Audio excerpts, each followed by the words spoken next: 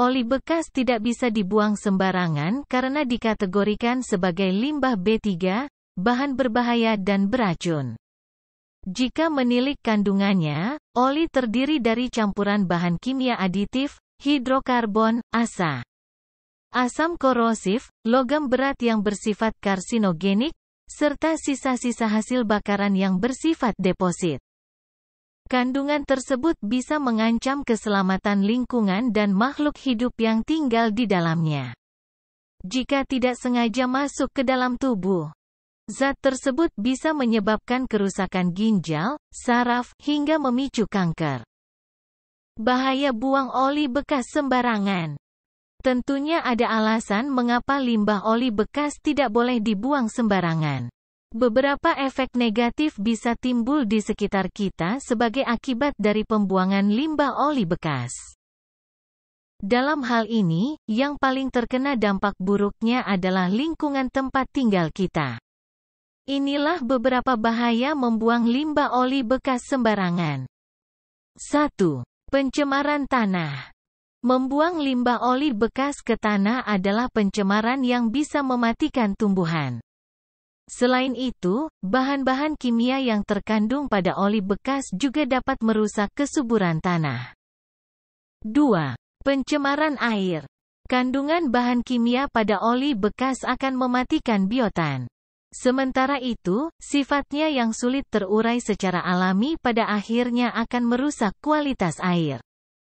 3. Resiko mudah terbakar. Oli bekas mengandung banyak bahan kimia. Hal ini membuatnya mudah sekali untuk terbakar. Jika ceroboh, oli yang tercecer bisa memicu kebakaran yang membahayakan nyawa. Cara tepat membuang oli bekas sesuai anjuran pemerintah. Mengingat bahwa oli bekas dikategorikan sebagai limbah B3, pemerintah sudah mengatur tentang cara membuang limbah oli bekas lewat Peraturan Pemerintah Nomor 22 Tahun 2021 tentang penyelenggaraan perlindungan dan pengelolaan lingkungan hidup.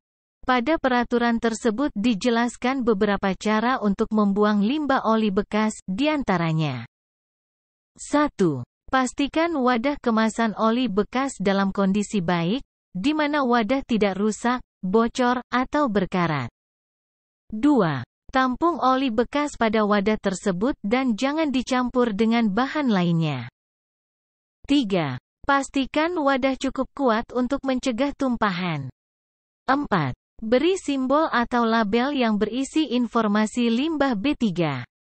5. Simpan di lokasi dan fasilitas penyimpanan sesuai dengan karakteristik dan jumlah oli bekas. 6. Pastikan bahwa oli bekas disimpan di lokasi bebas banjir, tidak rawan bencana alam, punya saluran tertentu, terhindar dari hujan dan sinar matahari, serta memiliki ventilasi dan penerangan yang cukup. 7. Pengangkutan dan pengelolaan lebih lanjut dilakukan oleh jasa pengelola berizin. Lalu apa jadinya jika oli bekas yang digunakan jutaan unit kendaraan di Indonesia? Bila tidak digunakan secara tepat, ataupun diolah dengan cara yang benar. Untuk itu, alangkah baiknya kalian juga mengenal sejumlah manfaat oli bekas untuk kehidupan masyarakat. 3R dari konservasi sumber daya adalah reduce, reuse, dan recycle. Ini adalah cara paling efektif untuk tidak menghasilkan limbah. Lalu apakah pembakaran menggunakan kompor oli bekas menghasilkan residu yang berbahaya? Luar biasa! Itu pertanyaan yang ingin kita tahu dan sering diucapkan para netizen. Pertanyaan yang sulit, karena tidak ada data pasti nilai emisi dari ali bekas. Tapi sebagai gambaran, pembakaran ali bekas jauh lebih ramah dibanding pembakaran dari batu bara. Keracunan karbon monoksida akibat sistem pemanas oli bekas jarang terjadi, Memasang detektor karbon monoksida akan memberi Anda perlindungan tambahan dan ketenangan pikiran. Karena tidak ada data pasti sebaiknya jangan dipakai untuk memasak makanan atau minuman yang kontak langsung dengan sistem pemanas. Karena kita tidak tahu kontaminasinya berbahaya atau tidak. Tapi jika dipakai untuk pemanas ruangan, di luar negeri sudah banyak yang pakai dengan sistem transfer heat. Yang memungkinkan pemisahan emisi gas buang agar tidak masuk ke ruangan. Sementara untuk digunakan sebagai pemanas ruangan di kandang ayam sendiri sudah banyak yang pakai karena lebih hemat dan menghasilkan panas yang cukup untuk keperluan penghangat ayam. Jika kita melihat kandang ayam yang memakai batu bara dengan tingkat emisi yang berbahaya sekalipun masih bisa. Tentu saja emisi dari pemanas oli harusnya lebih aman. Kita bicara tanpa data pasti tapi memakai pembanding yang jauh lebih berbahaya.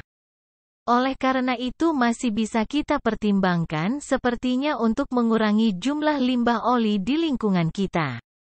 Sebagai gambaran, menggunakan pemanas sentral berbahan bakar gas butuh biaya sekitar 675 Rp malam.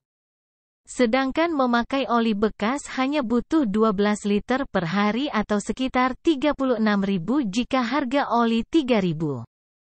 Semoga membantu dan memberikan gambaran yang lebih luas bagi kita semua. Amin ya robbal alamin.